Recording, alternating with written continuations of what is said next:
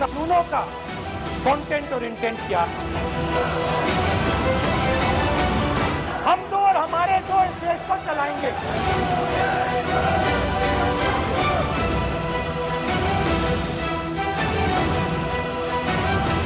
पहला ऑप्शन घूस, दूसरा ऑप्शन बेरोजगारी, तीसरा ऑप्शन आत्महत्या। ये तीन ऑप्शन आपने दिए हैं।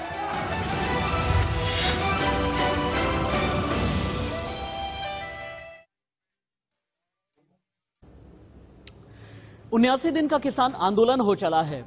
जनवरी और फरवरी में कितना घमासान चला, ये हमने और आपने देखा। लेकिन हाँ अब किसान आगे के लिए क्या तैयारियाँ कर रहे हैं? और राहुल गांधी इतने अग्रेसिव क्यों हो गए हैं? लेकिन किसी भी तरह का की अराजक स्थिति में, या देशद्रोही, या देश विरोधी स्थिति के लिए, क्या इनसाइड स्टोरी और किस तरह का प्लान सरकार ने तैयार किया है, ये आपके लिए जानना बहुत ज़रूरी है। राजस्थान में क्या होगा? राजस्थान की पंचायत में क्या रहेगा? और मेरठ में अगर आज प्रियंका गांधी हैं, इसके मायने क्या हैं? कंटेंट और इंटेंट की बात अगर राहुल गांधी कर गए हैं, और हम दो हमारे दो पर इतना संग्राम क्यों छिड़ा है? अगले एक घंटे इसी पर बहस होगी। उन्यासी दिन का कृषि कानून के खिलाफ आंदोलन हो चला है। नमस्ते, मैं राशिद। उन्यासी दिन के बाद सरकार समाधान ढूँढने की फिराक में है। लेकिन किसानों की तैयारी बहुत बड़ी है। किसान ये कहने लगे हैं कि मार्च, अप्रैल, मई, जून के लिए अब तो बड़ी तैयारी करनी होगी। और गर्मी में घमासान बढ़ाने के लिए कैसे एसी लगाए गए हैं, कैसे बाकी इंतज़ाम किए गए हैं, कैसे सीसीटीवी कैमरे बढ़ाए जा रहे हैं, सिंगू टिकरी, गाजीपुर बॉर्डर पर हम आगे आपको बताएँगे और दिखाएँगे। क्योंकि ठंड में छिड़ी थी रार, लेकिन गर्मी में कर देंगे आर पार। और आर पार में क्या होगा, ये आप अगले एक घंटे में जान जाएँगे। लेकिन इस बीच विपक्ष की तरफ़ से लोकसभा में जब राहुल गांधी बोले, जम करके बोले अग्रेसिव स्पीच दी। 21 मिनट के भाषण में किसान बहाना था, हम दो हमारे दो वाला निशाना था। यह निशाना क्या था? एक बार फिर से आपको याद दिलाएँगे। सरकार, विपक्ष अभी ताड़ रहे हैं, लेकिन किसान आंदोलन कैसे दो फाड़ हो गया है यह भी आपके लिए जानना ज़रूरी है। गुरनाम चढ़ूनी का नया बयान क्यों इस तरफ़ इशारा कर रहा है कि आंदोलन दो फाड़ हो गया है? लेकिन प्रियंका गांधी ने प्रयागराज में डुबकी लगाई, राहुल गांधी ने चुटकी ली। लेकिन अब किसानों ने यह कह दिया है कि राजस्थान में आज सभी टोल को फ्री कर देंगे। 18 फरवरी से रेल रोको आंदोलन चलाया जाएगा।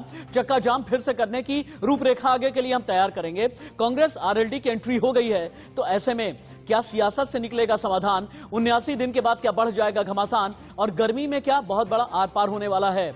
मार्च, अप्रैल, मई, जून के लिए किसानों ने जो बड़ी तैयारी की है, इस पर अब सरकार क्या करेगी? दिल्ली पुलिस क्या करेगी? यूपी पुलिस क्या करेगी?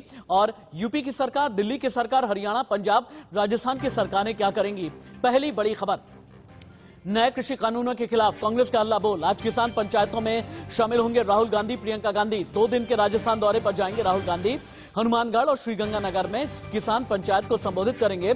मेरठ में किसान सभा में भी शामिल होंगी प्रियंका गांधी। प्रियंका गांधी बहुत ज़्यादा मुखर हैं। आपको याद होगा, दो दिन पहले भी सहारनपुर में रही थी। अब दो तस्वीरें आप देख पा रहे हैं। आज राहुल गांधी राजस्थान में कृषि कानूनों के खिलाफ किसान पंचायत में शामिल होंगे। तो प्रियंका गांधी यूपी के मेरठ में मोर्चा संभालेंगी।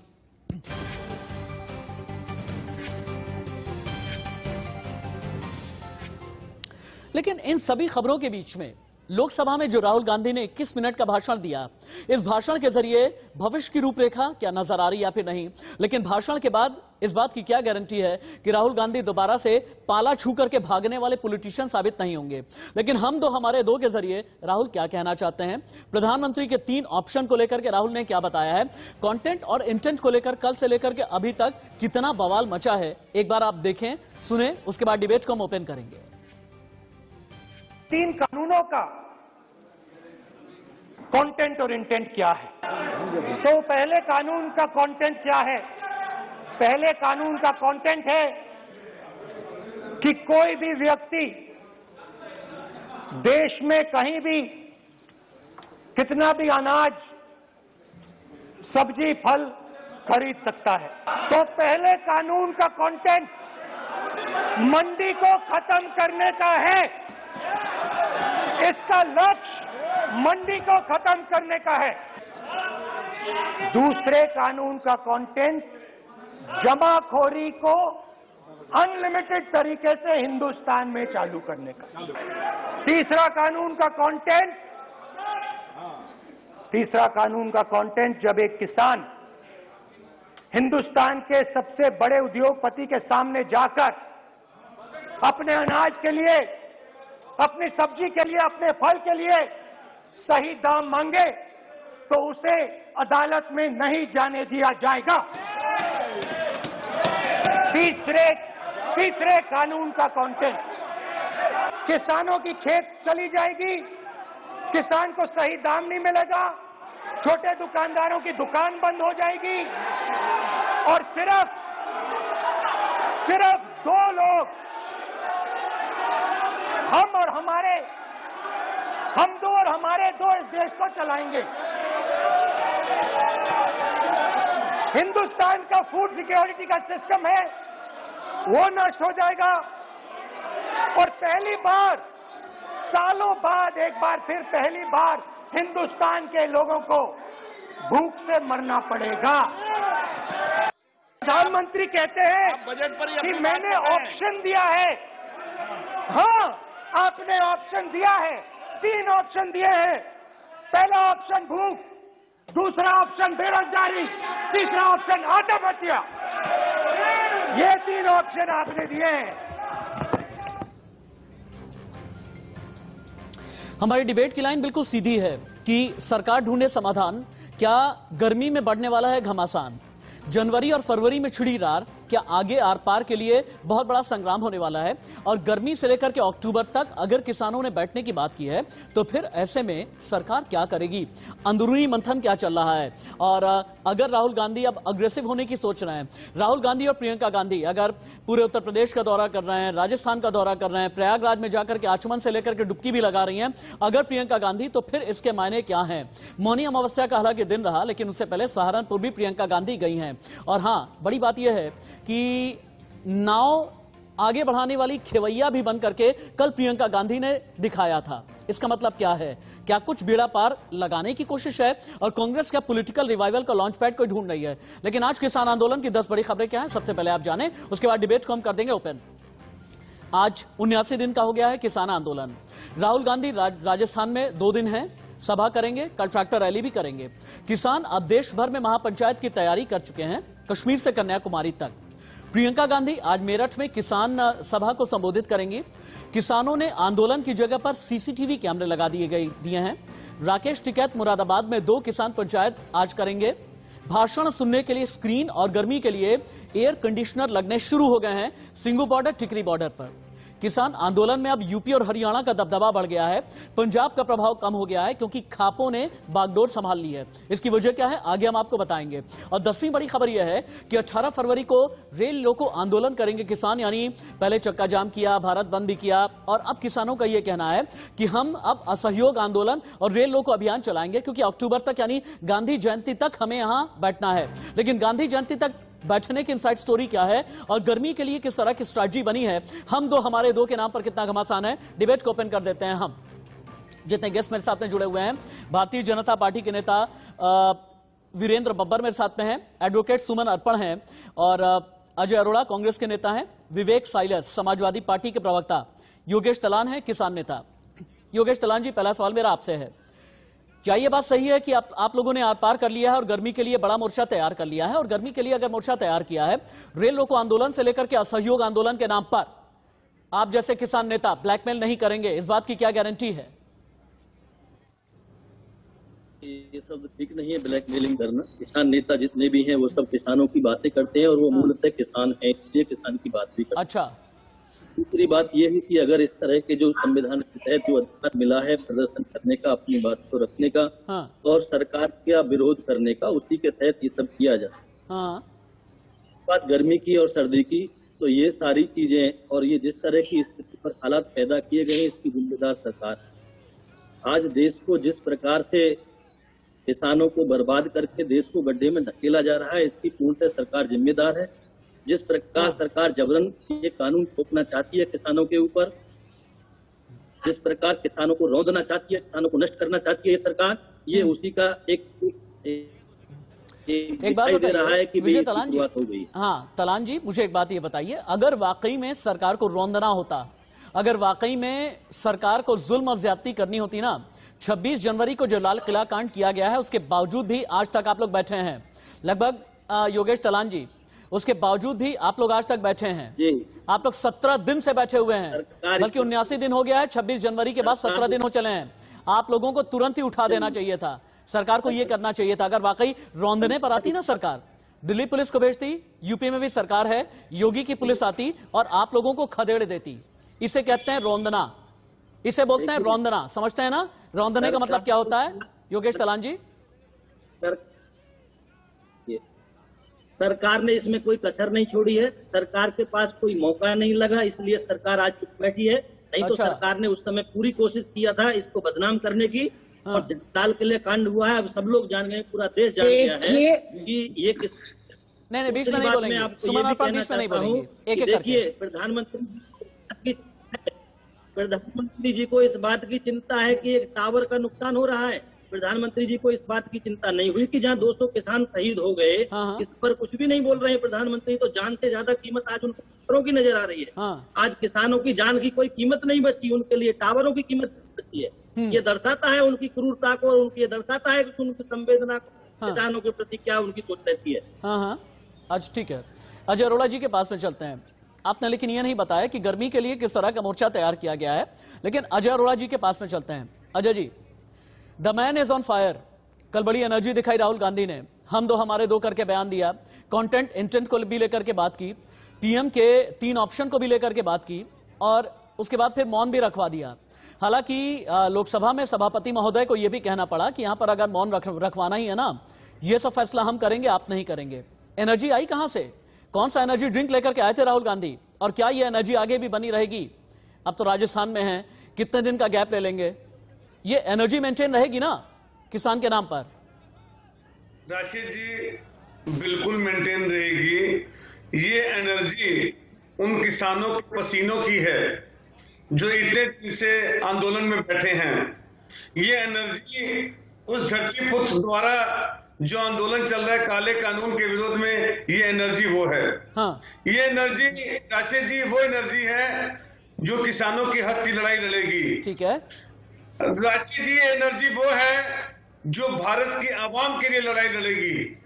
राशि जी ये एनर्जी वो है जो सरकार को चेताएगी कि आप गलत काम कर रहे हो किसानों के विरुद्ध काम कर रहे हो हाँ। और हम दो और हमारे दो के नारों पे चल रहे हो। हाँ। ये एनर्जी वो है। अच्छा।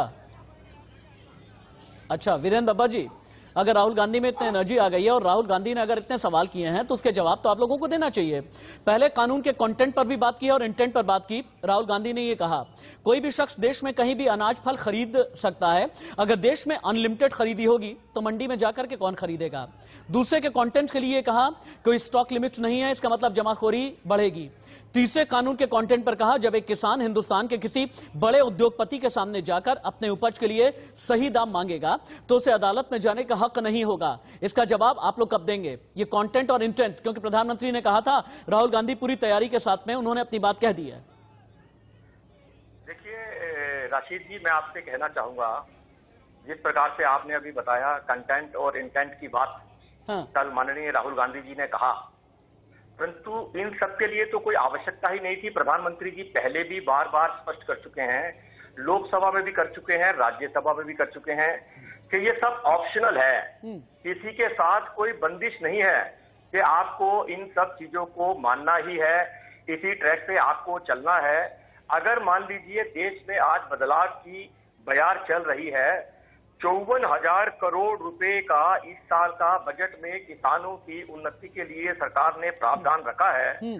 अठारह हज़ार करोड़ रुपए एक ही दिन में किसान सम्मान निधि के माध्यम से हाँ। किसानों के अकाउंट्स में ट्रांसफ़र हुआ है सीधा। और ये उस देश में हुआ है जिस देश के अंदर देश के प्रधानमंत्री तत्कालीन प्रधानमंत्री उस समय के स्वर्गीय श्री राजीव गांधी जी लाल किले पर खड़े होकर के कहते थे कि हम एक रुपया बेचते हैं तो पंद्रह पैसे पहुँचते हैं। उस देश के अंदर अगर पूरे पूरे पैसे बिना मिडिल मैन के सीधा किसानों के खाते में किसानों के हित में जाते हैं तो आप समझ सकते हैं कि हम भारतीय जनता पार्टी की सरकार मोदी जी की सरकार एनडीए की सरकार किसानों की उन्नति के लिए एक काम कर लेते हैं। तुरंत इंफोग्राफिक स्टूडियो में चलते हैं। इंफोग्राफिक स्टूडियो में चलते हैं कुछ और भी चीज़ें दिखाते हैं क्योंकि हम कुछ और भी गेस्ट को पैच करने वाले हैं। क्यों हमने ये कहा कि अब आर पार है और गर्मी के लिए मोर्चा तैयार है? और वीरेंद्र बब्बर जी याद रखिएगा, आपने जो जवाब दिया है, मैं आपसे ये पूछूँगा कि अगर वाकई में कृषि कानूनों को लेकर के आप इतने कॉन्फिडेंट हैं तो राहुल गांधी ने क्यों ये कह दिया कि ये कृषि कानून सिर्फ़ हम दो हमारे दो के लिए है? देश में सिर्फ़ हम दो हमारे दो वाली सरकार चल रही है, और ये हम दो हमारे दो का मतलब क्या है? लेकिन इन्फोग्राफिक स्टूडियो में कुछ और भी जानकारी इंतज़ार कर रही है व्यूवर्स का। सरकार के खिलाफ कृषि कानून पर किसान लंबी लड़ाई के मूड में हैं। सिंगू टिकरी बॉर्डर पर प्रदर्शनकारियों ने गर्मी की तैयारी शुरू कर दी है। सीसीटीवी, वाईफाई बुनियादी सुविधाएँ बेहतर की जा रही हैं, अभी और भी ज़्यादा।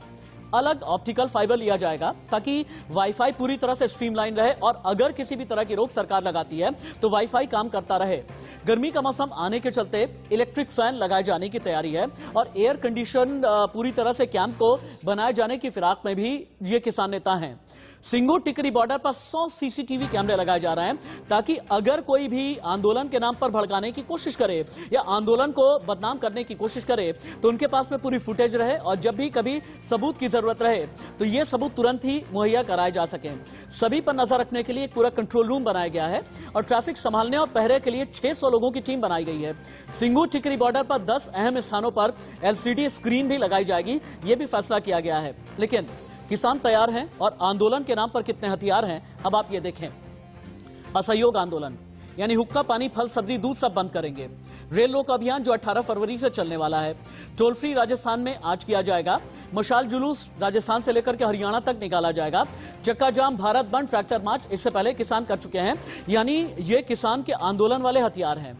लेकिन हाँ अब यह कहा जा रहा है कि खाप ने बागडोर संभाल ली है आंदोलन की। इसका मतलब क्या है, ये भी जाने आप। किसान आंदोलन में अब पूरी तरह से बदलाव होता नज़र आ रहा है स्ट्रैटेजी चेंज हो गई है। ट्रैक्टर परेड से पहले तक पंजाब का दबदबा था। किसान आंदोलन में लेकिन अब हरियाणा और यूपी का दबदबा कायम हो गया है। हरियाणा, यूपी में खापों के हाथ आंदोलन की बागडोर आ गई है। ये जो खाप होते हैं ना, जो खाप पंचायत करते हैं, जो करोड़ों रुपए जुटाकर भी किसान आंदोलन में ये लोग मदद करने में लगे हैं। पहले पंजाब के 32 संगठनों के फैसले पर मोर्चे की मुहर लगती थी, लेकिन अब राकेश टिकैत और ऋषिपाल अंबावत, ये दो नाम है। हर फैसले में इन्हें शामिल किया जा रहा है और इनके बिना कोई भी डिसीज़न नहीं लिया जा रहा। 26 जनवरी के बाद पंजाब के ज़्यादातर किसान वापस घर चले गए। लेकिन आंदोलन टूटने लगा। हरियाणा और यूपी के किसानों ने मोर्चा संभाल लिया है। यूपी में बालियान और चौरासी खाप समेत थाम्बेदारों ने मोर्चा संभाला है और हरियाणा में कंडेला सर्व खाप दहिया, दलाल, सरोहा खाप, ये पूरी तरह एक्टिव हो गए हैं। खापों ने अब तक करीब एक करोड़ रुपए से ज़्यादा का चंदा जुटाया है। योगेश तलान जी, क्या ये माना जाए कि आंदोलन जब डाइल्यूट होने लगा था, आंदोलन कमज़ोर होने लगा था तो ऐसे में आप लोगों ने खाप के हाथ में बागडोर दे दी है। देखिए आप की बात तो यह कि आप कोई और नहीं है सभी किसानों का एक संगठन के रूप में उसको कहा जा सकता है। और ये भावना है उन किसानों की जो किसी भी प्रकार से सहयोग करने में अपने आप को सक्षम पाते हैं और वो सहयोग कर रहे हैं। चाहे कोई आर्थिक मदद कर रहा है चाहे कोई भौतिक रूप से मदद कर रहा है हाँ। ये अपनी भावनाओं के तहत वो लोग मदद कर रहे हैं। ठीक है अपनी अपनी भावनाओं से मदद कर रहे हैं आप क्या कहना? विवेक साइलस के पास में चलते हैं समाजवादी पार्टी के नेता हैं। विवेक साइलस उत्तर प्रदेश में जितने एक्टिव आरएलडी और कांग्रेस नज़र आ रही है किसान का, कृषि कानून को लेकर या फिर आंदोलन को लेकर के उतनी एक्टिवनेस क्यों नहीं है अखिलेश में?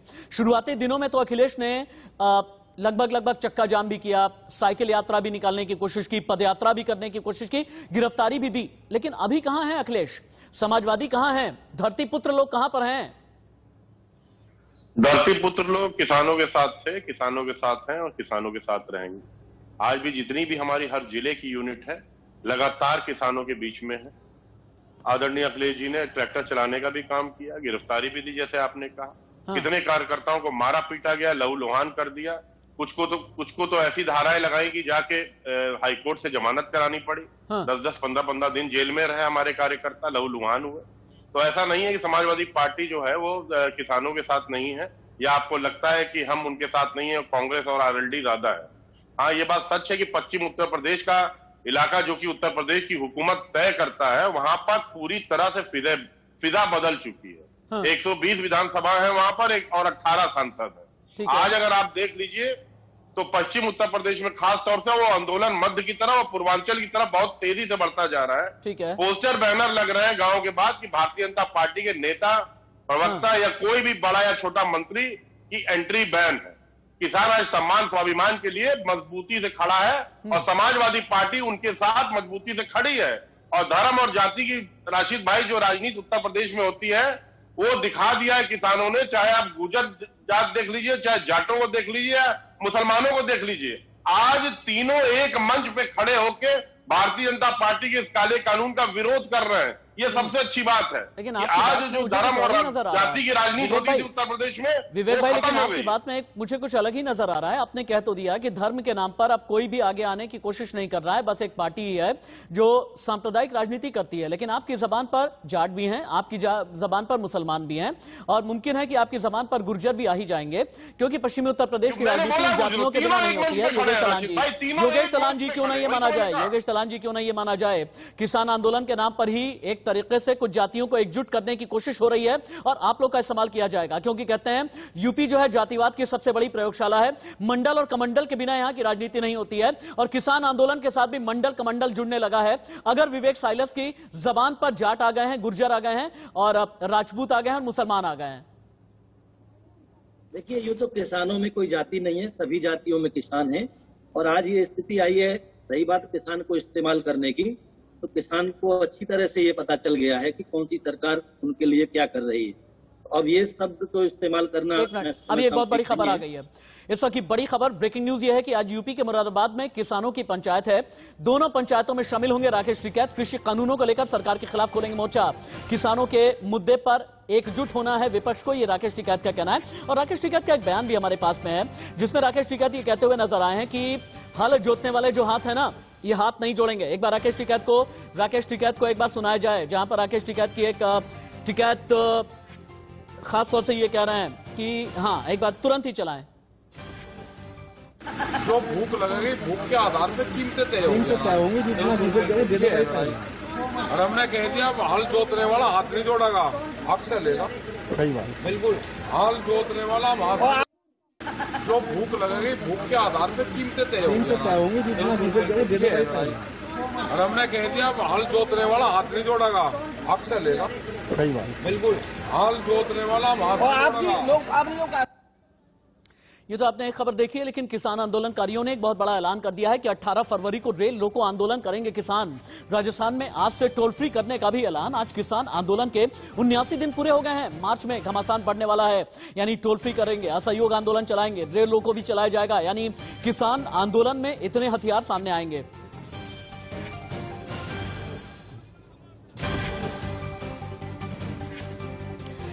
अगली बड़ी खबर, एक ये बहुत बड़ी खबर है, सुमन अर्पण, आपको ज़रूर ये खबर देखनी चाहिए। एमपी की खबर है किसानों का पैसा बटोरकर कंपनी फरार हो गई है। केस दर्ज कराने के लिए किसान संघर्ष कर रहे हैं। एमपी के बैतूल का ये मामला है। बैतूल के सैकड़ों किसानों ने एक कंपनी से किया था कॉन्ट्रैक्ट। 2018 में सहजन की खेती करने के लिए कॉन्ट्रैक्ट किया गया। कंपनी किसानों को धोखा देकर के गायब हो गई। तो ऐसे में अब सवाल ये उठता है, कॉन्ट्रैक्ट फ़ार्मिंग बढ़ाई जाएगी? सुमन अर्पण, अब आप ये जवाब दें। कंपनियाँ कॉन्ट्रैक्ट फ़ार्मिंग के नाम पर किसानों का पैसा ऐड करके भाग रही हैं। तो फिर कॉन्ट्रैक्ट फ़ार्मिंग पर आखिरकार विश्वास क्यों किया जाए? वो कॉन्ट्रैक्ट फ़ार्मिंग, जिसे लेकर के कृषि कानून में बड़ा प्रावधान किया गया है। देखिए राशिद जी अगर कॉन्ट्रैक्ट फ़ार्मिंग के दौरान इस तरह की कोई भी फ्रॉड होता है या कंपनियाँ पैसा लेकर भाग जाती हैं हाँ। तो हमारे संविधान ने कानून बनाया है कि आप उस कंपनियों को आप उन कंपनियों पर केस कर सकते हैं। और डायरेक्ट चार सौ उन्नीस चार सौ बीस चार सौ सड़सठ चार सौ अड़सठ। मैं इनकी बात नहीं कर रहा मैं फिर से धाराएँ दोहराऊँगा। चार सौ उन्नीस चार सौ बीस चार सौ सड़सठ चार सौ अड़सठ। फ्रॉड फोजरी भर की मैं बात नहीं कर रहा हूँ। एक किसान जो होता है ना मैम अपना केस लड़ने के लिए लाखों रुपए खर्च नहीं कर सकता। आप समझें उसे चाहिए थाली उसे चाहिए दो जून की रोटी। केस लड़ने नहीं जाएगा। ऐसे हालात पैदा ही क्यों हो कि उसे बेवकूफ़ बनाकर किसान को बेवकूफ़ बना करके कोई भी फ्रॉड हो जाए। कॉन्ट्रैक्ट फ़ार्मिंग के नाम पर फ्रॉड नहीं होगा इसकी गारंटी कौन लेगा? ये गारंटी चाहिए। ये नहीं कि फ्रॉड हो गया तो जाकर के केस लड़ो। गारंटी बताइए गारंटी है आपके पास? जी मैं आपकी बात से पूरी पूरी तरह से सहमत हूँ। ये हमको नचाता है रात दिन। यारो हमारा पेट है मदारी की तरह। मैं मानती हूँ कि किसान की जो समस्या है लेकिन हमारा जो सॉल्यूशन है समस्या संवाद से समाधान की तरफ़ हम बढ़ रहे हैं। लेकिन जब किसान हमारी मेरी सवाल का जवाब नहीं दे रही हैं। मैं एक चीज़ पर हूँ। कॉन्ट्रैक्ट फ़ार्मिंग में गारंटी हाँ, कैसे मिलेगी? जैसे राहुल गांधी ने कंटेंट इंटेंट की बात की है राजनीतिक विश्लेषक है आप। मुझे गारंटी की बात कीजिए। आई नीड द गारंटी इधर उधर की बात नहीं। मैं आपको मैं एक चीज़ बताती हूँ जब आप समाधान की तरफ़ बैठेंगे समाधान के लिए बैठेंगे तभी तो कॉन्ट्रैक्ट फ़ार्मिंग में गारंटी मैम जब किसान कॉन्ट्रैक्ट फ़ार्मिंग में गारंटी मैं मैम आई नीड द तो- गारंटी मुझे किसान के हक हाँ। की बात चाहिए मुझे चाहिए गारंटी किसान के हक मैं किसान के हक की ही बात कर रही हूँ मैं वीरेंद्र किसान बब्बर जी, आप देंगे गारंटी? कर रही हूँ जब हम बब्बर जी, समाधान के बब्बर जी, गारंटी देंगे आप? समाधान के लिए जब तक हम बैठेंगे वीरेंद्र बब्बर जी। समस्या का समाधान वीरेंद्र बब्बर तक मेरी आवाज़ जा रही है क्या? ना अगर आप बब्बर जी बोले आ जाएँगे जी निश्चित रूप से मैं ये कहना चाहता हूँ ये जो आपने घटना बताई ये अभी अभी अभी संज्ञान में आई है। और जो कानून किसान कानून जो बनाए गए हैं जिसमें कॉन्ट्रैक्ट फ़ार्मिंग की बात की जा रही है हाँ। या जिस प्रकार से ये बार बार कहा जा रहा है तो सरकार ने निश्चित रूप से उसके अंदर हर चीज़ को सिक्योर किया है। ये धारा कौन सी है ये किस जगह पे लिखी हुई है ये कैसा है ये मैं अभी आपको नहीं बता सकता मेरे को इसकी अभी जानकारी नहीं है। परंतु निश्चित रूप से किसान के साथ किसी भी प्रकार आप ये का कह रहे हैं कि कोई भी कंपनी अगर किसानों का पैसा लूट ले तो जाकर के अपना केस लड़ लो ये तो अधिकार में हमने आपको दिया ही है। आईपीसी की तरफ़ जाओ सीआरपीसी देखो जाकर के वकील करो चक्कर लगाओ तारीखों पर जाओ और अपनी खेती किसानी छोड़ दो। राशि जी एक चीज़ और भी है इसमें। अगर ऐसी कोई समस्या आएगी तो सरकार केंद्र सरकार निःशुल्क प्रावधान बहुत बड़ी खबर। किसानों किसान आंदोलन। दो फाड़ हो गया। बहुत बड़ी खबर। किसान आंदोलन दो फाड़ हो गया। Breaking news. गुर- गुरनाम सिंह चढ़ूनी के बयान के बाद सवाल खड़े हो गए हैं। टिकैत के बयानों से हँसी आती है ये गुरनाम चढ़ूनी का कहना है। टिकैत ने किया था दो अक्टूबर तक आंदोलन चलने का ऐलान लेकिन कानून वापसी तक आंदोलन चलेगा। ये गुरनाम चढ़ूनी ने सीधे तौर पर कह दिया है। और इसी पर राकेश टिकैत का रिएक्शन भी सामने आया है। क्या कहा? सुनिए। भाई दो अक्टूबर का मतलब ये है कि अब इसका प्लान दिया है सबने। अनिश्चित काल भी है दो अक्टूबर के दो अक्टूबर इस गेट पे यहाँ पे 2018 में आँसू गैस के गोले गोली पत्थरबाजी सब हुआ तो दो अक्टूबर को तो मनाना ही पड़ेगा ना गेट पे। यहाँ पे इसी पे ही। और ये तो चलेगा तो जब तक है ही? उसमें क्या कोई दिक्कत है? योगेश तलान से अगला हम सवाल करेंगे लेकिन उससे पहले किसान आंदोलन किस तरह से दो फाड़ हो गया है आपको याद होगा गुरनाम सिंह चढ़ूनी वर्सेस शिव कुमार कक्का तो हुआ ही हुआ था। राकेश टिकैत वर्सेस दर्शन पाल भी हुआ था लेकिन अब राकेश टिकैत वर्सेस गुरनाम चढ़ूनी में क्या है? राकेश टिकैत ने कहा कि दो अक्टूबर तक अल्टीमेटम देते हैं सरकार मान जाए। लेकिन इस पर इस पर गुरनाम चढ़ूनी ने कहा कि ऐसे बयानों पर हँसी आती है, क्योंकि बिल वापसी तक यह आंदोलन चलेगा। गांधी जयंती यानी 2 अक्टूबर तक बैठेंगे, ये राकेश टिकैत ने कहा। तो फिर ऐसे में गुरनाम सिंह चढ़ूनी ने ही कहा, इस तरह का बयान आप कैसे दे सकते हैं? ये तो बहुत ही हास्यास्पद है। किसानों की आवाज़ यह है कि 2 अक्टूबर तक बैठेंगे, राकेश टिकैत बोले, गुरनाम चढ़ूनी ने कहा, टिकैत का ये निजी बयान है। किसान आंदोलन में योगेश तलान जी, कितनी फाड़ हो गई है। क्या ये माना जाए, अब किसान नेता एकजुट नहीं है? क्या ये माना जाए कि चालीस संगठन अब एक नहीं है? सबकी अपनी अपनी डफली अपना अपना राग है। इसको इस तरह से ना लिया जाए कि 2 अक्टूबर की कोई फाइनल डेट कर दी गई है। ये एक संभावना है और जो तारीख दी गई है वो कोई इस तरह का ऐलान नहीं है क्या राकेश टिकैत शिव कुमार कक्का डॉक्टर दर्शन पाल गुरनाम चढ़ूनी ये चार लोग एक हैं। देखिए सवाल एक और दो का नहीं क्या ये चार लोग एक हैं? देखिए दूसरी बात है। योगेश तलान ये चार लोग एक हैं या नहीं? राकेश टिकैत गुरनाम चढ़ूनी शिव कुमार कक्का और जो चौथा नाम मैंने डॉक्टर दर्शन पाल का बताया है ये एक है या नहीं? देखिए बिल्कुल सभी एक है और सभी अपनी लड़ाई नहीं अगर एक है अगर एक है तो एक दूसरे के खिलाफ क्यों बोलते हैं? अगर एक है तो कोई कहता है बीजेपी आरएसएस का एजेंट अगर एक है तो क्यों ये कहते हैं कि बयान पर हँसी आती है? अगर एक है तो एक एक जो है दूसरे की बात काटने में क्यों लगा है? कोई कंफ्यूजन है क्या? विचारों का मतभेद है क्या? इसको इस तरह से ना देखा जाए। इसको ये देखा जाए कि भी ठीक है उन्होंने कहा है कि दो अक्टूबर का कहा गया है तो संभव है हाँ। ये कोई डेडलाइन नहीं है कि दो अक्टूबर को ही खत्म हो जाएगा अच्छा। आंदोलन किसान आंदोलन तब तक चलेगा जब तक किसानों के साथ न्याय नहीं हो जाता हम्म। जब तक ये तीन काले कानून वापस नहीं हो जाते और किसान की फ़सल का दाम की सुनिश्चित नहीं किया जाता सरकार के द्वारा तब तक किसान आंदोलन चलता रहेगा इसमें किसी के लिए ये कहना भी बेकार है ठीक तक चलेगा अब आप रुकें। जब तक चलेगा अब आप। ये चीज़ें अब आप रुके लेकिन मैं अभी तक कांग्रेस की रणनीति और राहुल गांधी की राजनीति समझ नहीं पाया। अजय अरोड़ा बेहतर तरीके से समझाएँगे। अजय अरोड़ा जी, लोकसभा में राहुल गांधी बोल रहे थे कंटेंट इंटेंट और न जाने क्या क्या बोल दिया। हम दो, हमारे दो। प्रधानमंत्री नरेंद्र मोदी के विकल्पों को भी लेकर के बोल गए। 21 मिनट का भाषण दिया, लेकिन समझ में नहीं आया कि अपने आप को राहुल गांधी संविधान के ऊपर समझने लगे हैं, क्या प्रोटोकॉल के ऊपर मानने लगे हैं, क्योंकि एक जो लोकसभा या राज्यसभा का जो सभापति होता है ना, इसका अधिकार होता है, हक होता है, मौन रखवाना कब है? कब किसी को खामोश करना है, कब किसी को बोलने का मौका देना है? लेकिन राहुल गांधी जो है, सभी को उठाया, कहा दो मिनट का मौन रख दें। ठीक है, संवेदनाएँ हमारी भी किसानों के साथ में है, जिनकी मौत हुई, उनके परिवारों के साथ में है। लेकिन ये कौन सा तरीका होता है कि प्रोटोकॉल से ऊपर चले जाएँ? और बड़ी बात यह है कि जब भी अपना भाषण दे रहे थे, सामने सभापति की तरफ़ देख करके नहीं दे रहे थे, या दाएँ देख रहे थे, या बाएँ देख रहे थे। ये कौन सी राजनीति है? राशिद जी लोकसभा में अपनी बात रखना इधर देखना या उधर देखना मैटर ये नहीं करता। मैटर ये मैटर करता है ना क्योंकि कांग्रेस से भी पूछा जाएगा तू इधर उधर की बात ना कर ये बता कि कारवा कहा लुटा? राशि जी न कारवा लुटा ना इधर उधर की बात की। किसानों के हक की बात की संवेदना प्रकट की इसमें तो चाहिए था साधुवाद मिले। राहुल गांधी को साधुवाद है कि उन्होंने किसानों को श्रद्धा सुमन अर्पित किए उन्हें नमन किया। हाँ। इसमें कौन सी गलत बात कर दी? कौन सा कानून और संविधान से कार्य कर दिया? मैं तो नहीं समझता कि प्रोटोकॉल तोड़ा कोई। हाँ।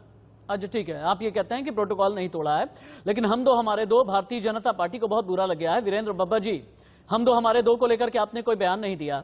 एक जमाने में आप लोग कहते थे ना कि सोनिया डिसाइड्स, पीएम प्रिसाइड्स। देखिए, मैं तो आपकी एक बात को पहले जोड़ना चाहूँगा। अभी आपने बात की कल लोकसभा में जिस प्रकार से आदरणीय राहुल गांधी जी का जो व्यवहार रहा और अभी मेरे कांग्रेस के सम्मानित प्रवक्ता ने कहा कि उसमें किसी प्रकार के प्रोटोकॉल को नहीं तोड़ा गया। बार बार आप देख रहे थे, कांग्रेस के ट्विटर हैंडल पे भी आप देख लीजिए बार बार स्पीकर साहब ये कह रहे थे कि कृपया बजट पे बोलिए और उन्होंने कहा, मैं दो मिनट में बजट पे आ रहा हूँ। मैं पाँच मिनट नहीं में बजट पे लगा आ होगा रहा ना हूँ। कि मैं- किसानों की मैं- कोई बात सदन के अंदर मैं- हो नहीं रही है ठीक तरीके से। किसान आंदोलन को लेकर के कोई बात नहीं कर रहा है। वीरेंद्र जी सरकार समाधान ढूँढने में लगी हुई है लेकिन गर्मियों में घमासान भी बढ़ेगा। लेकिन घमासान बढ़ने वाला है तो इसके लिए साइबर आर्मी भी तैयार है जो ये कहती है हम है तैयार नहीं बचेगा गद्दार। अब ये साइबर आर्मी का कॉन्सेप्ट क्या है इसे आप देखें और समझें। सोशल मीडिया पर सरकार साइबर आर्मी उतारने की तैयारी में है। भारत सरकार ने इसे साइबर वॉलंटियर का नाम दिया है। साइबर वॉलंटियर इंटरनेट पर देश विरोधी गतिविधियों पर नज़र रखेगा। गृह मंत्रालय ने Indian cyber crime coordination centre को यह काम सौंप दिया है। सरकार ने साइबर वॉलंटियर की नियुक्ति का काम शुरू कर दिया है। पायलट प्रोजेक्ट के तौर पर जम्मू कश्मीर और त्रिपुरा में इसे शुरू भी कर दिया गया है। यानी साइबर आर्मी एक एक चीज़ पर नज़र रखेगी कि कहीं सोशल मीडिया का इस्तेमाल किसान आंदोलन के नाम पर किसी खालिस्तानी प्रोजेक्शन के लिए तो नहीं किया जा रहा, किसी आतंकी गतिविधि के लिए तो नहीं किया जा रहा, किसी अराजक गतिविधि के लिए तो नहीं किया जा रहा, और इसीलिए पूरा एक स्कैनर होगा जो सोशल मीडिया कंटेंट पर नज़र रखेगा। अब कौन सा कंटेंट ऐसा होगा जो देश विरोधी की श्रेणी में आ जाएगा? और इसे लेकर के भी कई बातें कही गई हैं। एक एक करके आप देखें। जो भारत की संप्रभुता या फिर अखंडता के खिलाफ होगा, इस कंटेंट को माना जाएगा देश विरोधी जिससे भारत की सुरक्षा को खतरा आ जाए। ऐसे कंटेंट पर भी स्कैनर है। अगला, किसी राज्य की सुरक्षा को अगर खतरा हो जाता है तो यह भी कंटेंट स्कैनर पर है। देश, जिससे देश के दूसरे देशों से संबंध खराब होने की स्थिति आती है, ऐसे कंटेंट पर भी गृह मंत्रालय सीधे नज़र रखेगा। सरकारी आदेश का अगर उल्लंघन होता है तो इन सभी कंटेंट पर नज़र रखा जाएगा, लेकिन वीरेंद्र बब्बर जी, थोड़ी देर पहले मैं आपके पास में था। आप अपनी बात तो आगे बढ़ाएँ, लेकिन एक चीज़ ये भी बताएँ आप कि सोशल मीडिया पर अगर नज़र रखी जा रही है तो बहुत से लोग ये कह रहे हैं कि ये तानाशाही है, क्योंकि आप लोग कलम को दबाना चाहते हैं, विचारों को दबाना चाहते हैं। सोशल मीडिया पर जो मुखर विचार आते हैं, जिनमें किसी भी तरह की बायसनेस नहीं होती है, जिसमें किसी भी तरह का एजेंडा नहीं होता है, फ़िल्टर नहीं होता है, इसे ही आप लोग दबा लेना चाहते हैं। और इसीलिए आप लोग सोशल मीडिया साइबर आर्मी तैयार कर रहे हैं। देखिए, एक बात मैं पहले जो विषय चल रहा था, उसके ऊपर रहूँगा। 2022 के पंजाब के यूपी के चुनाव और 2021 में जो पाँच राज्यों में चुनाव हो जा रहे हैं उन्हीं चुनावों को लेकर के ये सब जिस प्रकार से अभी किसान आंदोलन की बात चल रही है जिस प्रकार से यूपी के अंदर जगह जगह अलग अलग क्षेत्रों में महापंचायत की बात चल रही है जिस प्रकार से अभी कांग्रेस और समाजवादी पार्टी के प्रवक्ता और हमारे जो भारतीय अच्छा। किसान यूनियन के प्रवक्ता है उन्होंने भी ये बार बार कहा कि हम सब लोग इकट्ठे हो रहे हैं हाँ। भारतीय जनता पार्टी के किसी भी कार्यकर्ता को किसी भी नेता को किसी भी प्रवक्ता को गाँव के अंदर नहीं घुसना दिया जाएगा पंजाब के अंदर स्थानीय निकाय के जो चुनाव हो रहे हैं उस पर किस प्रकार भारतीय जनता पार्टी के काफिलों पर गाड़ियों पर हमले किए जा रहे हैं हाँ। ये सब केवल और केवल किसान आंदोलन नहीं एजेंडा केवल चुनाव का है रही बात अभी आपने कहा कि राहुल गांधी जी ने संसद में जो कहा सब कुछ कहने के बाद सबसे अंत में आप उनका ट्विटर हैंडल देख लीजिए। जब उन्होंने कहा कि मैं दो मिनट का शो करता हूँ और जिस प्रकार से उन्होंने ऐसे हाथ हिला करके सबको उठने का इशारा किया हाँ। वो लोकतंत्र की गरिमा को किस प्रकार से ठेस पहुँची है उसकी ये आदत बन चुकी है स्वभाव बन चुका है। कभी देश के प्रधानमंत्री के कंधे पे हाथ रखना चाहते हैं गले लगना चाहते हैं आँख मारते हैं ये सब गतिविधियाँ उन्हें ध्यान में रखना चाहिए ये पूरा अगर वाकई में वाकई में लोकतंत्र की गरिमा का उल्लंघन हुआ है या फिर अगर संसद के किसी कानून संसद की जो गतिविधि चलती है, इसके नियम, कायदे, कानून का अगर उल्लंघन हुआ है तो फिर जो सभापति महोदय हैं, वो एक्शन भी लेंगे। ये भी मुमकिन है कि एक्शन लिया जाएगा, इस पर भी नज़र बनी रहेगी। विवेक साइलस जी अभी अभी भारतीय जनता पार्टी के नेता वीरेंद्र बब्बर का यह कहना था कि सब कुछ चुनाव की वजह से हो रहा है और हर कोई चुनाव के नाम पर एक एक नेता को हाईजैक करके अपना पेटेंट बना लेना चाहता है कि भैया ये मेरा नेता है, देखो। राकेश टिकैत हमारे हैं? दर्शन पाला आपके हैं। गुरनाम चढ़ूनी इनके हैं? तो फिर जो शिव कुमार कक्का हैं ये किसी और के होंगे? क्या इस तरह की कोई चीज़ चल रही है क्या? समाजवादी पार्टी बिल्कुल नहीं, मैं- समाजवादी पार्टी किसी हाईजैक करने की फिराक में विवेक भाई। समझिए राशिद भाई देखिए मैं पूरी तरह से इसको खारिज करता हूँ। किसानों का अपना आंदोलन है। किसान खुद सड़कों पे आए हैं। हाँ। लाठी डंडे खा रहे हैं। 200 किसान शहीद हो चुके हैं। प्रधानमंत्री जी दुनिया भर की बात करते रहे लेकिन 200 किसानों के लिए कुछ नहीं बोला। ये बताते हैं भारतीय जनता पार्टी कितनी वो है सेंसिटिव है किसानों के लिए। और आज इनकी जो सांसद है हेमा मालिनी जो हेलीकॉप्टर से उतर के गेहूँ का फ़सल काट रही थी और हेलीकॉप्टर से उड़ गई आज कहीं दिखाई दे रही है क्या? कहीं नहीं दिखाई दे रही तो ये भारतीय जनता पार्टी का चरित्र है। आपने अभी बैतूल की बात की थी बैतूल में आपने मैडम से कहा था कि मुझे गारंटी चाहिए। यही तो किसान मांग रहा है कि आप एमएसपी पे कानूनी जमा पहना दो चाहे सरकार खरीदे हो चाहे प्राइवेट कंपनियाँ खरीदे। हाँ। एक एमएसपी आप फिक्स कर दीजिए बात खत्म हो जाएगी। हाँ। इस इतनी सी बात आपको समझ में नहीं आ रही है। और राशिद भाई आपने बैठते ही बड़ा बड़ा दुख हुआ। आपने कहा कि किसान ब्लैकमेल कर रहे हैं। दूसरी बात आपने ये कहा कि किसान रोंगने रौंदने लायक है। कृपया इस तरह की बात ना करिए कि अगर सरकार चाहती तो किसान को रौंद नहीं मैं तो दो चीज़ें दो चीज़ें आपके सामने कह रहा हूँ। हाँ मैंने कहा कि किसान ब्लैकमेल कर रहे हैं। और मैं इस बात पर कायम हूँ। लेकिन मैंने ये नहीं कहा किसान रौंदे लायक हैं। मैंने ये बोला, जहाँ पर योगेश तलान ये कह रहे थे कि किसानों को रौंदा गया तो मैंने कहा, रौंदने का मतलब ये होता है, रौंदने का मतलब ये होता है कि 26 जनवरी के बाद सलाखों के पीछे किसानों को होना चाहिए था, ये मेरा कहने का मतलब है। और एडवोकेट सुमन अर्पण चूँकि आप भारतीय जनता पार्टी की पैरवी मेरी डिबेट में कर रही है, मैं समझ नहीं पा रहा। दीप सिद्धू अंदर है, इकबाल सिंह को अंदर कर दिया गया है, और लखा सिधाना पर भी नज़र है, धर्मेंद्र सिंह हरमन को भी सलाखों के पीछे भेजा गया है। लेकिन अगर वाकई में 26 जनवरी के अगर कोई आरोपी हैं या फिर अपराधी समझ में आते हैं कई बड़े बड़े किसान नेताओं के नाम भी हैं बड़े बड़े किसान नेताओं के खिलाफ एफआईआर भी दर्ज की गई है देशद्रोह की धाराएँ लगाने की संभावनाएँ भी पैदा हो रही थी लेकिन अभी तक किसी भी किसान नेता को अरेस्ट क्यों नहीं किया गया? इंतज़ार किस चीज़ का किया जा रहा है? सुमन अर्पण। देखिए जब तक हमारे पास एविडेंस नहीं होंगे तब तक हम किसी को गिरफ़्तार कैसे कर सकते हैं? जो कानून है वो साक्ष्य के आधार पर चलता है। सबसे बड़ी बात अगर सत्रह दिन के बाद भी सत्रह दिन के बाद भी अगर आप ये कहती है ना कि एविडेंस नहीं है एक काम करूँगा सुमन अर्पण जी नहीं, मैं evidence तो है, पर्सनली मैं पर्सनली आपको। पर्सनली आपको 600 एविडेंस भेजूँगा 600 लिख करके रख लीजिए। ठीक है sir I send you personally 600 evidence है। सुमन अर्पण। करने के लिए सर ठोस सबूतों की आवश्यकता होती है। और दूसरी बात ये कि जिस तरह से अभी भाई साहब ने कहा कि हर चीज़ के लिए अभी क्या हम किसानों की बात कर रहे थे 26 जनवरी को जो इस देश में हुआ सारे संसार ने देखा। क्या जिस तरह से सरकार ने आपको आराम से आंदोलन करने की इजाज़त दी। और आज आप जो हम बात करें किसानों को कभी भी रोंदा नहीं किया। आपको संविधान ने इजाज़त की शांतिपूर्ण ढंग से आप आंदोलन करें। उस आंदोलन को आपने विद्रोह के नाम पर देश आप इधर उधर सुनो चक्कर ये होता है ना मैं एक सवाल करता हूँ आप इधर उधर का जवाब देने लगते हैं। मैंने ये कहा मैंने ये कहा कि दीप सिद्धू इकबाल और लखा सिधाना और धर्मेंद्र सिंह हरमन इतने लोगों पर तो इतना स्कैनर चल रहा है लेकिन अगर वाकई में किसान नेताओं ने अपराध किया है जैसा कि कहा भी जा रहा था आप जैसे लोग ही कह रहे थे आप जैसे विश्लेषक ही कह रहे थे तो अभी तक कोई भी बड़ा किसान नेता सलाखों के पीछे क्यों नहीं है? इस बात का जवाब मुझे अभी तक नहीं मिला है। वीरेंद्र बब्बर जी अगर आपके पास में जवाब है ज़रूर देंगे आप। लेकिन चूँकि चुनाव की बात हो रही है आंदोलन के नाम पर कितने चुनावों पर नज़र रखी जा रही है अब हम एक बार अ, ये भी दिखा देते हैं। उसके बाद योगेश तलान जी से मेरा सवाल होगा। और अजय अरोड़ा जी आपके पास भी आता हूँ मैं। कौन कौन से चुनाव हैं जिन पर असल में नज़र रखी जा रही है? उत्तर प्रदेश उत्तराखंड पंजाब। ये तीन चुनाव होने हैं 2022 में। लेकिन 2021 में पाँच राज्यों के बड़े चुनाव हैं। पश्चिम बंगाल, केरल, तमिलनाडु, असम और पुडुचेरी। बदलते रहें बदलते रहें। यूपी, उत्तराखंड का और पंजाब का जो चुनाव है ना, यहाँ से बहुत बड़े किसानों की तादाद आती है। यूपी के किसान बॉर्डर पर हैं। पंजाब के किसान जो हैं, सबसे ज़्यादा क्रोधित हैं और हरियाणा और राजस्थान के जो किसान रहे हैं इनमें से ये बहुत ही ज़्यादा अग्रेसिव रहे हैं। इनमें से यूपी, उत्तराखंड और पंजाब में इलेक्शन होने हैं अगले साल। लेकिन इस साल इलेक्शन है। पश्चिम बंगाल में, पुडुचेरी में, केरल में, तमिलनाडु में, इन सभी राज्यों में चुनाव होने हैं। पाँच राज्यों के चुनाव पर नज़र बनी है। लेकिन इन चुनाव को लेकर के और क्या कुछ? एक बार फिर से डिबेट को ओपन कर दीजिए। अजय अरोड़ा जी। कहा यह जा रहा है कि चुनावी फ़सल काटने के लिए आप लोगों को किसान आंदोलन और किसानों के कंधे पर बंदूक रखने की ज़रूरत है। किसान का कंधा आप लोगों के लिए कितना मज़बूत है ताकि आप लोग निशाना साध सकें। हालाँकि बहुत बार ये कहते हैं ना दूसरे के कंधे पर रख करके अगर बंदूक चलाते हैं तो झटका आपको ही लगता है और वो झटका बूमरैंग कर जाता है और बहुत बार गिरा भी देता है। अजय अरोड़ा जी। जैसे जी हमारे कंधे मज़बूत हैं। हमने किसी कंधे अगर कंधे मज़बूत हैं तो भारत से सफाया कैसे हो गया आप लोगों का? कोई स्वीकार क्यों नहीं कर रहा आप लोगों को? किसानों की आपने एक मिनट एक मिनट। गाजीपुर बॉर्डर जतिन गोस्वामी के साथ राकेश टिकैत लाइव राकेश टिकैत एक्सक्लूसिव जतिन। रणनीति जानना चाहेंगे आज आप कहाँ जा रहे हैं? क्या चल हम वहाँ पे जाएँगे हरियाणा एक मीटिंग है बादरगढ़। मीटिंग में क्या होने वाला थोड़ा आज की रणनीति जानना चाहेंगे। नहीं मीटिंग में तो यही होता है ना कि आंदोलन कैसे चलागा आगे कैसे बढ़ेगा वो होता है मीटिंग में। आपकी संपत्ति को लेकर कहा गया कि 80 करोड़ की संपत्ति है कई पेट्रोल पंप है। क्या आपका जवाब है?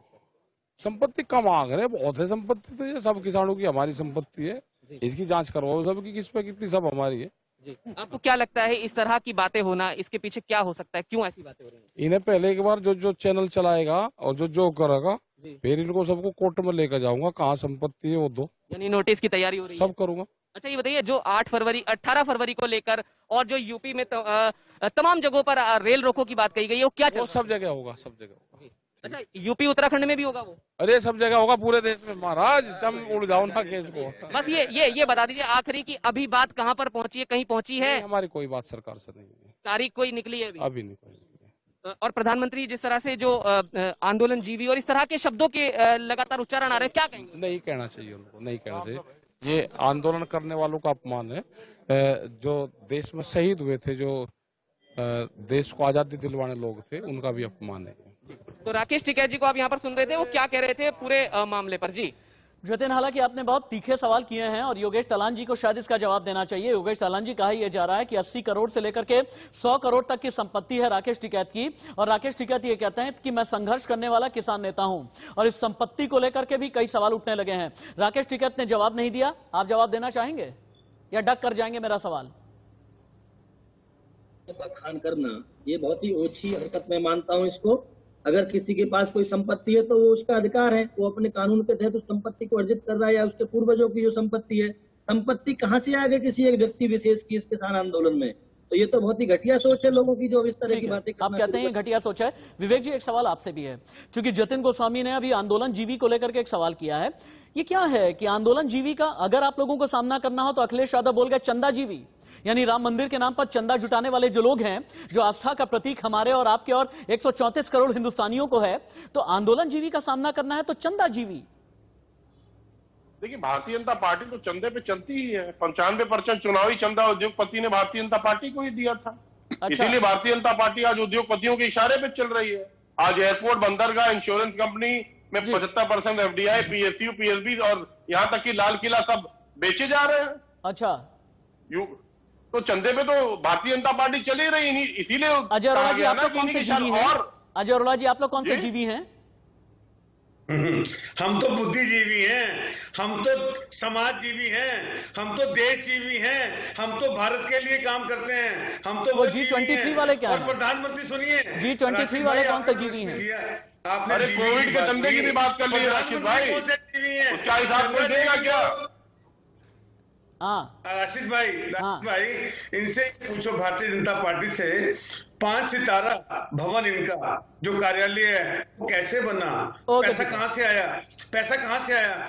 तो इसमें इनकी निष्पक्ष जाँच होनी चाहिए और इसमें अजय अरोड़ा जी योगेश। तलान जी विवेक साइलर जी वीरेंद्र बब्बर जी एडवोकेट सुमन अर्पण बहुत बहुत धन्यवाद आपका मेरी डिबेट में साथ में रहने के लिए लेकिन हाँ इतना ज़रूर है कि किसानों ने बड़ा आह्वान कर दिया है और इस आह्वान के तहत किसानों ने यह कह दिया है और राकेश टिकैत भी ये कहते नज़र आए रेल रोको आंदोलन 18 फरवरी को पूरे भारत में किया जाएगा लेकिन बीच में खबर यह भी है कि किसान आंदोलन में फूट भी है और फूट के अलावा यह कहा जा रहा है कि गर्मी के लिए जो तैयारी की जा रही है, यानी मार्च, अप्रैल, मई, जून के लिए बड़ी तैयारियाँ किसान कर रहे हैं, लेकिन सवाल एक ही उठता है, समाधान होगा या फिर नहीं? आंदोलन कितना ज़्यादा बढ़ेगा? आंदोलन के नाम पर विपक्ष और कितनी राजनीतिक रोटियाँ सेक पाएगा?